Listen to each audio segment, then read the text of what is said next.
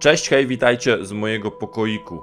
Dziś wyjątkowy dzień. 13 października 2020 roku. Szczególne okoliczności, które od kilku miesięcy nam towarzyszą, ale to na razie odsuńmy na bok, jeżeli mógłbym prosić.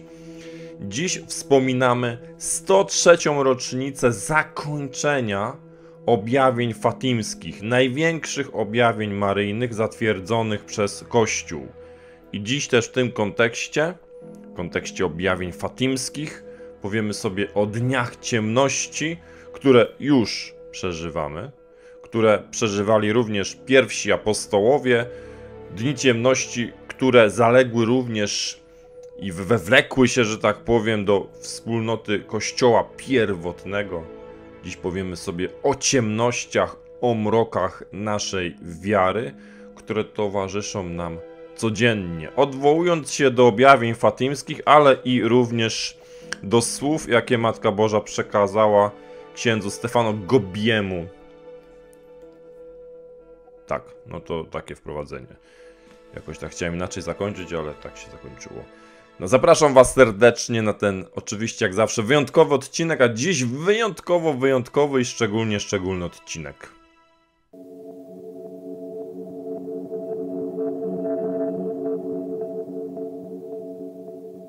Przez pół roku dzieci fatimskie, pastuszkowie z Fatimy, Hiacynta, Franciszek i Łucja otrzymywali objawienia, które adresowała do nich Maryja w dniach od 13 maja do 13 października 1917 roku. Dziś 13 października 2020 roku, a zatem obchodzimy nie tylko rocznicę zakończenia się objawień fatimskich, ale również i rocznicę cudu słońca, który towarzyszył jako znak zapowiedziany przez niepokalaną zakończeniu tymże objawieniom.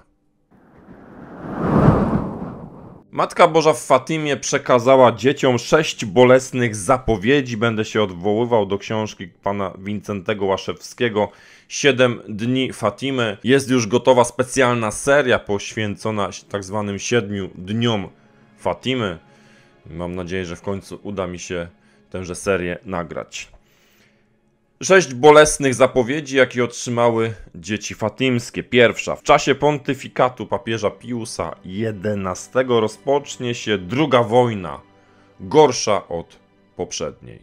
Ciekawe, że dzieci fatimskie operują konkretami, operują terminami historycznymi, to znaczy odwołują się do konkretnego imienia papieża. Dzieci, które nie miały pojęcia o tym, jak papież wygląda Druga bolesna zapowiedź z Fatimy będzie głód, prześladowanie Kościoła i Ojca Świętego. Trzecia bolesna zapowiedź z Fatimy.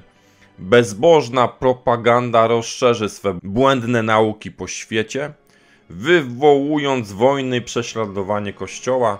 Oczywiście Maria tu mówiła o, o marksizmie, a szczególnie o komunizmie, które dziś przepoczwarzyły się w tak zwany neomarksizm, przylepiający sobie, że tak powiem, różne twarze, przybierający różne oblicza, niestety wchodzić w kwestie ideologiczne, bo przecież my jako katolicy przede wszystkim wpatrujemy się w Chrystusa, aby swoje słabości oddawać Jemu, aby moc słabości się doskonaliła. To znaczy najpierw zajmujemy się własnym grzechem, własną świętością, jednocześnie chcąc dawać świadectwo wiary innym.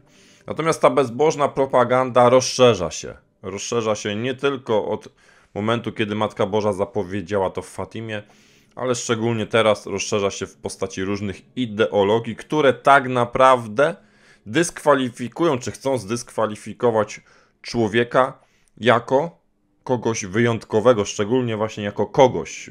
Arystoteles, definiując istoty żywe, posłużył się taką metodologią, że zestawiał je jakby w takich stopniach. I człowieka nazwał animal racjonale, zapożyczając animal, a więc z tego poziomu niższego co do człowieka, czyli zwierząt, i racjonale, czyli zwierzę rozumne. Dziś wielu współczesnych ideologów, chciałoby się powiedzieć, y, mieniących się za nowoczesnych, mówi, że człowiek jest tak naprawdę animal.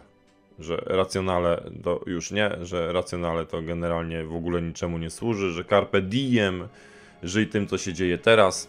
Korzystaj z tego, co ci daje natura, to znaczy sprzyjaj wszystkiemu, co ci się chce. Owi ideolodzy zdają się nie pamiętać, że Twoja wolność jest granicą mojej wolności i że nikt z nas nie jest samotną wyspą, że moje świadectwo wiary albo mój brak świadectwa wiary ma wpływ pozytywny jako świadectwo wiary albo negatywny jako antyświadectwo wiary także na innych. Czwarta bolesna zapowiedź z Fatimy. Dobrzy będą męczeni. I nie od dziś wiemy, że najbardziej prześladowaną społecznością religijną są chrześcijanie.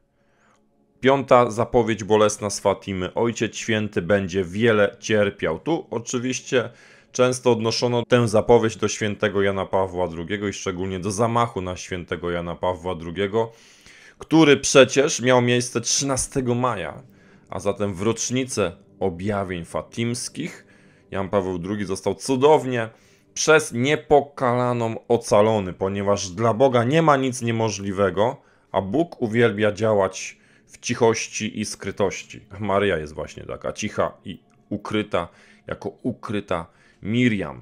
Ten cierpiący papież to również papież Benedykt XVI, ten cierpiący papież to również papież Franciszek, którego także katolicy nierzadko odrzucają, nie wczytując się w całość nauki, jaką głosi. Nie chcę wchodzić w szczegóły, natomiast jeśli chcemy być cenzorami biskupów i, i, również papieża, a wielu katolików zdaje się, że chce być cenzorami również papieża, to może najpierw zapoznajmy się z nauką Kościoła katolickiego, z katechizmem Kościoła katolickiego, ponieważ jak mówią święci, posłuszeństwo nie może być ślepe, musi się opierać na czym?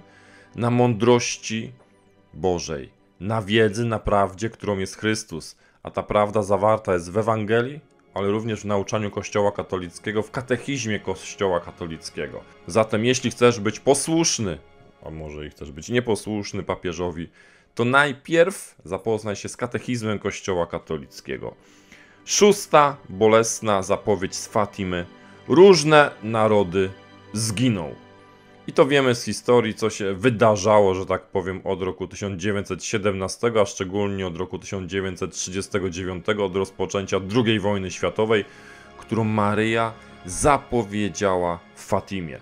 Wszystkie zapowiedzi i obietnice, jakie Maryja przekazuje, tak naprawdę przekazuje je w imieniu Chrystusa, to Bóg ją posyła do nas, to Bóg przychodzi przez Maryję, przychodzi jako ów jegomość, że tak powiem, bardzo łagodny i delikatny, bo Maryja jako kobieta jest łagodna i delikatna.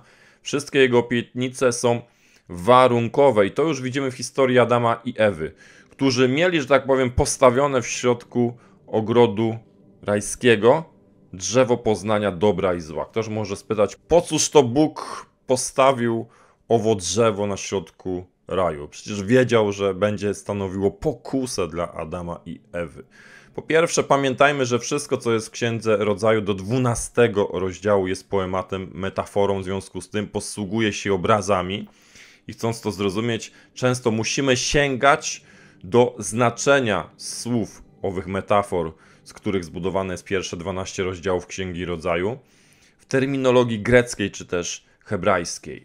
Natomiast, jeżeli nie byłoby owego drzewa, czyli możliwości, aby Adam i Ewa wybrali po swojemu, to nie istniałaby miłość. To znaczy, tam, gdzie nie masz wyboru, tam jest tyrania. Tam, gdzie nie ma wolności, tam jest tyrania. Dlatego Maria przychodzi w 1917 roku do dzieci fatimskich i prosi je, aby one przekazały światu, przekazały papieżowi, że jeśli świat się nie nawróci, zginie. To znaczy, Kościół będzie prześladowany, Ojciec Święty będzie cierpiał, zginie wiele narodów na drodze wybuchu kolejnej wojny. Propaganda ateistyczna będzie się szerzyła. Bóg zawsze daje nam wybór. Tam, gdzie nie ma wolności, tam również i nie ma Boga, bo Bóg jest miłością, a miłość bez wolności nie istnieje. Siostra Łucja w 1939 roku mówiła, że wszystkich wojen, począwszy od 1918 roku, można było uniknąć. Wystarczyło słuchać głosu Maryi. A zatem słuchając głosu Maryi, czym czy kim jest ów głos Maryi? Jest to głos Boga, ponieważ Maria jest pełna łaski, kecharitomene, przezroczysta, zawsze wskazująca na Chrystusa.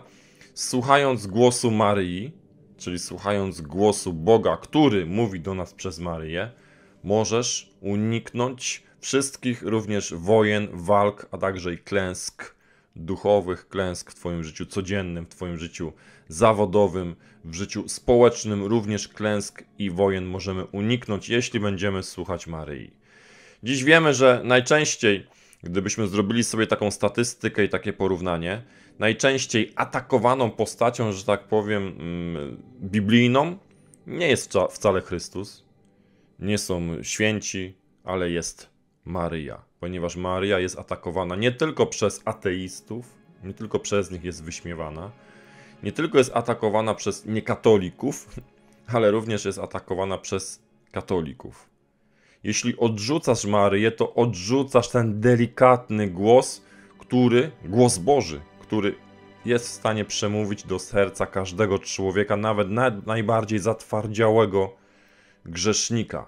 Ponieważ, jak to jest opisane w protoewangelii w trzecim rozdziale Księgi Rodzaju w 15 wersie, Maria jako niewiasta, i tą niewiastą również jest Kościół, ten obraz pojawia się w 12 rozdziale Księgi Apokalipsy, depcze głowę węża, ale nie własną mocą, ponieważ przynosi Syna Bożego. Tego, który przechodzi przez bramę śmierci i wychodzi z tej bramy śmierci zwycięsko zmartwychwstając. Na początku 1941 roku siostra Łucja pisała Ileż bym dała, by jego świątobliwość, pisząc do papieża, przekonał się do uczynienia tego kroku, czyli poświęcenia Rosji i ustanowienia pierwszych sobót miesiąca. Od roku 1917 pierwsze soboty miesiąca tak naprawdę w Kościele katolickim na dobre nie zagościły, nie zaistniały, tylko 17% parafii katolickich prowadziło pierwsze soboty miesiąca oparte na tych warunkach, o których sobie kiedyś mówiliśmy. Nie chodzi o, tylko o procesję fatimską, to nie chodzi tylko o, o mszę świętą, mszę fatimską, że tak powiem. To nie chodzi tylko o odmówienie różańca, ale to chodzi o spowiedź w intencji zadośćuczynienia za grzechy, za obrażanie niepokolanego serca Marii, przyjęcie komunii świętej również w intencji zadośćuczynienia, różaniec święty, ale i także 15-minutowe, przynajmniej 15-minutowe rozważanie życia Chrystusa w oparciu o Pismo Święte. O tych warunkach pierwszych sobot miesiąca już kiedyś mówiłem, nie będę do tego wracał. Dnia 20 czerwca 1939 roku siostra Łucja napisała: Najświętsza Maria Panna obiecała odłożyć bicz wojny na później, jeśli to nabożeństwo, czyli nabożeństwo pierwszych sobót miesiąca, będzie propagowane i praktykowane. Możemy dostrzec, że odsuwa ona tę karę stosownie do wysiłków, jakie są podejmowane, by je propagować. Obawiam się jednak, że mogliśmy uczynić więcej niż czynimy. Siostra Łucja już w 1939 roku takie słowa zapisała. I że Bóg mniej niż zadowolony może podnieść ramię swego miłosierdzia i pozwolić, aby świat był niszczony przez to oczyszczenie. A nigdy nie było ono tak straszne. Nigdy nie było tak straszne, powtarza siostra Łucja. Ilekroć odchodzimy od Boga, cierpimy. Ilekroć w nasze życie duchowe wkradza się ciemność i mrok, cierpimy. Ilekroć odrzucamy Boga, odrzucamy sakramenty święte, odrzucamy Kościół, cierpimy. Natomiast cuda zdarzają się tylko tam, gdzie jest próba wiary, gdzie jest, że tak powiem, sytuacja napięta, gdzie już nie ma innego ratunku. Dlatego im gorzej, czasami w naszym życiu duchowym, i im gorzej, że tak powiem, z kondycją Kościoła katolickiego, tym lepiej, ponieważ moc słabości się doskonalić może. To znaczy, im więcej tej słabości się w naszych duszach i sercach rozlewa, tym większe miłosierdzie Bóg może w tę słabość wlać. Dla Boga nie ma nic niemożliwego i każda ciemność może stać się światłością, bo, bo, bo Bóg z ciemności wyprowadza światłość, bo ze zła wyprowadza dobro. Jeśli zatem czujesz, że w Twoim życiu jest coraz gorzej, chwyć za różaniec święty, przygotuj się do sakramentu pokuty i pojednania, pójdź do spowiedzi, staraj się codziennie uczestniczyć w Eucharystii, czytać Słowo Boże. Wiem, łatwo powiedzieć, trudniej wprowadzić, ale ilekroć będziesz nawet wykazywał pragnienie codziennego czytania Słowa Bożego, codziennego oddawania swoich słabości Bogu, to Bóg będzie cię prowadził przez te ciemności, tak jak prowadził naród izraelski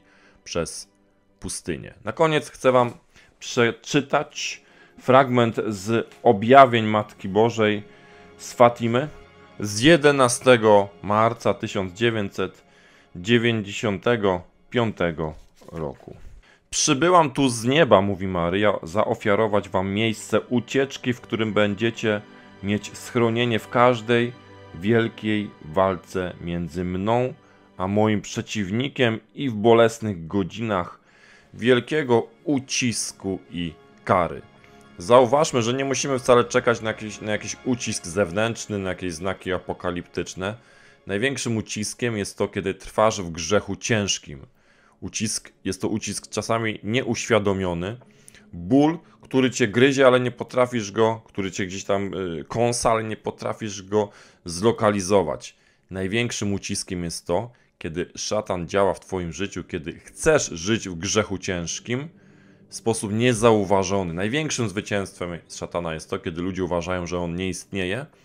I z drugiej strony, również największym zwycięstwem szatana jest to, kiedy ludzie widzą go tam, gdzie go nie ma. Dlatego Maria mówi dalej. Moja tajemnica, mówi Maryja, dotyczy Kościoła. W Kościele osiągnie szczyt wielkie odstępstwo, które szerzy się na całym świecie. Był to rok 1995. Rozłam dokona się poprzez całkowite odejście od Ewangelii i prawdziwej wiary.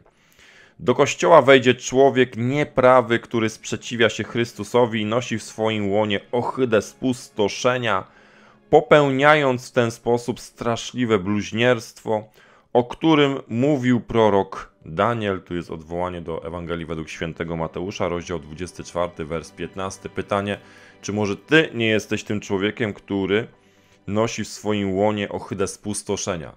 Kiedy czynisz spustoszenie? kiedy żyjesz w grzechu ciężkim. Kiedyś po prostu się nie spowiadasz. Moja tajemnica dotyczy ludzkości, mówi Maryja. Ludzkość osiągnie szczyt zepsucia i bezbożności. Pytanie, czy już jesteśmy u szczytu bezbożności i zepsucia? Moja odpowiedź nie. To znaczy, no, bunt przeciwko Bogu może być jeszcze większy. Poczekajmy, zobaczymy, to znaczy, spójrzmy we własne serca i zobaczmy, że że chyba jeszcze gorzej to z nami może być, ale oby nie było. Buntu przeciw Bogu i otwartego sprzeciwu wobec Jego prawa miłości. Pozna ona, czyli ludzkość, godzinę swej największej kary, która została wam przepowiedziana przez proroka Zachariasza. To jest odwołanie do Księgi Zachariasza, rozdział 13, wersy od 7 do 9. Wtedy miejsce to ukaże się oczom wszystkich jako promienny znak mojej matczynej obecności w ostatecznej godzinie waszego wielkiego ucisku. Stąd moje światło rozszerzy się na wszystkie części świata. Z tego źródła wypłynie woda mego boskiego miłosierdzia. Pamiętajmy, że Maria jest matką miłosierdzia Bożego, które stąpi na was, aby wylać się na suszę świata który stał się obecnie ogromną pustynią. Właśnie w tym moim wspaniałym dziele miłości i zbawienia ukaże się wszystkim triumf niepokalanego serca tej, która wzywana jest jako Matka Miłosierdzia. A zatem mamy czasy Bożego Miłosierdzia. Zanim Chrystus przyjdzie jako sędzia sprawiedliwy, jak to zapisała na polecenie Jezusa święta siostra Faustyna, najpierw da nam Boże miłosierdzie. To znaczy da nam schronienie w Bożym miłosierdziu, ucieczkę do Bożego miłosierdzia, a Maryja jako Matka Bożego Miłosierdzia jest kaplicą adoracji Najświętszego Serca Chrystusa. To znaczy wtedy, kiedy zamykasz się w niepokalanym sercu Maryi, chwytasz za rękę różaniec, wyłączasz, że tak powiem, cały świat y, mediów społecznościowych, bo myślę, że one naj, najczęściej nas odwracają czy, czy odciągają od Boga. Kiedy skupiasz się na tajemnicach Różańca Świętego, czyli na życiu Chrystusa, wtedy otwierasz się na prowadzenie przez ukrytą Miriam, która działa cicho i skutecznie. Zauważmy Kanę Galilejską. Działanie Maryi było bardzo skuteczne. Wystarczyła, że jakby zgadła tylko pragnienia weselników, którym zabrakło wina i przekazała to pragnienie, tę prośbę swojemu synowi, mówiąc do weselników, nawet nie, nie czekając na odpowiedź Chrystusa, zróbcie wszystko, cokolwiek mój syn wam powie. A zatem, jeśli ukrywasz się w niepokalanym sercu Maryi, to zawsze będziesz, że tak powiem, otaczany Bożym miłosierdziem. A tam, gdzie Boże miłosierdzie, tam zwycięstwo nad grzechem i szatanem. Punktem wyjścia w przyjęciu Bożego miłosierdzia, i o tym też są objawienia fatimskie, jest uznanie siebie jako grzesznika. To znaczy, musisz się przyznać, że nie jesteś samowystarczalny, że jesteś słaby, że upadasz, że potrzebujesz pomocy Chrystusa, który przychodzi do nas przez sakramenty święte, przez Słowo Boże, przez naukę Kościoła katolickiego. Jeśli nie, uzna, nie uznasz sobie grzesznika, to nadal będziesz czcił siebie samego. Zbudujesz złoty bożek y, siebie samego, tak jak to Żydzi uczynili, kiedy Mojżesz poszedł na górę Syna, Synaj po 10 przykazań. Zbudujesz sobie złoty bożek z twarzą własną, że tak powiem, jeszcze w maseczce do tego, prawda? Żeby nikogo nie zarażać, czy nie, no i tak dalej. Już nie wchodzę w te kwestie, bo no, teraz się ktoś tego jednego zdania czepi, będzie lawina komentarzy kłótni, bo my jesteśmy dobrzy w dzieleniu się, nie? Szatan tak fajnie wymyślił covidy i antykowidy, że nas y, cudownie i wspaniale w tej kwestii skłóca, a diabeł, czyli diabolos jest tym, który dzieli. Cudownie, że tak powiem w cudzysłowie, cudownie to wymyślił. Każdym razie, jeśli oddasz Bogu swoje grzechy, wtedy również będziesz musiał potłuc złoty Bożek, który ma Twoją twarz. Bo dokładnie tak samo jak Adam i Ewa my się zachowujemy. Właściwie każdej godziny chcąc decydować sami o tym, co jest dobre a co złe. A anioł w Fatimie mówił: Pokuta, pokuta, pokuta. Co jest pokutą i co jest Twoim krzyżem? Nie wcale wymyślanie sobie jakichś ascetycznych praktyk, tylko wierność powołaniu, które otrzymałeś, wierność talentom, które otrzymałeś, wierność pasją, które otrzymałeś, wierność zainteresowaniom ku dobremu, które od Boga otrzymałeś. Ora et labora, módl się i pracuj. A Maryja, jako ukryta Miriam, jako, że tak powiem, gospodyni domu świętej rodziny jest tą, która również w codzienności, we zwykłych okolicznościach nas prowadzi. Dzieci fatimskie otrzymały od Marii receptę na świętość. Do dziś nie wypełniliśmy prośby Maryi. Mam na myśli chociażby nabożeństwo pierwszych sobót miesiąca, jak i również nasze osobiste zawierzenie się Chrystusowi przez ręce Maryi. Tej delikatnej, łagodnej, cichej i, i skutecznej. Wszystkie obietnice, jak i wszystkie kary, które Bóg nam daje, o których mówi również Słowo Boże i nauka Kościoła katolickiego, katechizm Kościoła katolickiego, są warunkowe. To znaczy, jeżeli będziesz jechał, że tak powiem, w złą stronę, to sobie zrobisz krzywdę, Bóg cię uchroni przed śmiercią, to znaczy nie trafi cię jasny piorun z nieba, jasny grom z nieba cię prawdopodobnie nie trafi. Natomiast no, będziesz musiał odcierpieć to, że żyłeś w grzechu, aby dostrzec, czy może bardziej uświadomić sobie, że nie jesteś samowystarczalny. To jest właśnie Boża pedagogia. Miłość, która uczy, a nie miłość, która jest naiwna, a nie miłość, która się uśmiecha i mówi, że wszystko jest fajne i miłe. Miłość wymaga. Bóg jako miłość od nas wymaga. Ty, jeśli kogoś kochasz, również od niego wymagasz. Jeśli kochasz samego siebie, również od siebie musisz wymagać, bo jeśli nie wymagasz, jest to fałszywa miłość. Wszystkiego błogosławionego Wam życzę i do zobaczenia najpóźniej w niebie. Jeszcze raz Wam dziękuję za to, że tak licznie kupujecie pierwszą książkę mego skromnego autorstwa, odnieść zwycięstwo.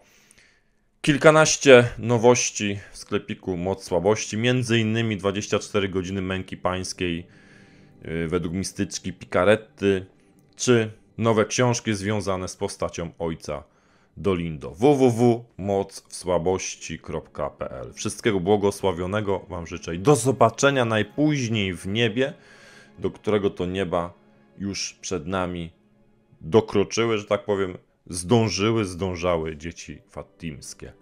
Cześć, hej, szczęść Boże.